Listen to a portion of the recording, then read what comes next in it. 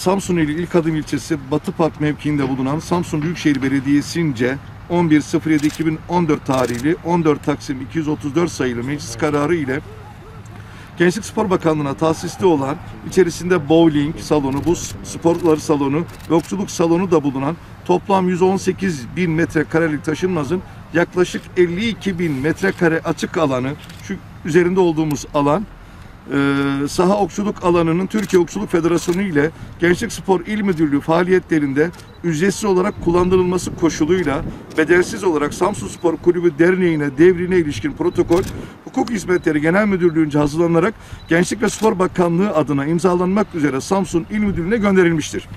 Hazırlanan protokol Samsun Spor Kulübü tarafından protokol maddelerinden bir tanesinin tahsihi konusunda görüşülmesi için Bakan Bey'den randevu alınmış olup kulüp başkanımız Yüksel Yıldırım'ın geçirmiş olduğu Covid rahatsızlığından dolayı randevu iptal edilmiş ve protokolün imza aşaması gerçekleşememiştir. Sağlığına kavuşan Başkanımız Yüksel Yıldırım, Sayın Bakanımız Mehmet Muharrem Kasapoğlu'na randevu talep ederek konu yeniden görüşülecektir.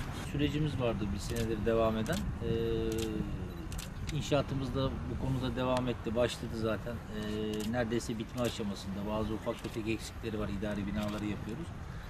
Ee, müdürümün bahsettiği gibi e, ülkemizi de etkisi altına alan Covid'den dolayı bazı e, girişimler biraz gecikti. Ee, ama inşaatta bir gecikmemiz olmadı. Başkanımız ve Sayın Bakanımız muhtemelen yakın bir zamanda o e, ufak tefek e, detayları beraber bir araya gelip konuştuktan sonra imza aşamasına geçilecekse zannedersem. Yüksel Bey'in bu kadar zor durumlarda yaptığı yatırımın onun da kafasını rahatlatacak, şehrimizi de mutlu edecek bir şekilde sonuçlanacağından hiçbir şüphemiz yok. Yani protokol resmiyete döküldüğünde herhalde medyayla, kamuoyuyla Sağdan soldan şey yapmayın. Soru derken hani şey anlamında bizim hani birebir illa kayıt olmasına Ha, yok. Yani e, bakanın ismi veriyor mezarda.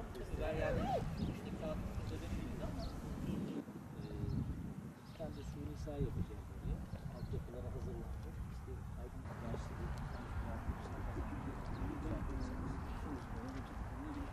Tabii yani. Burada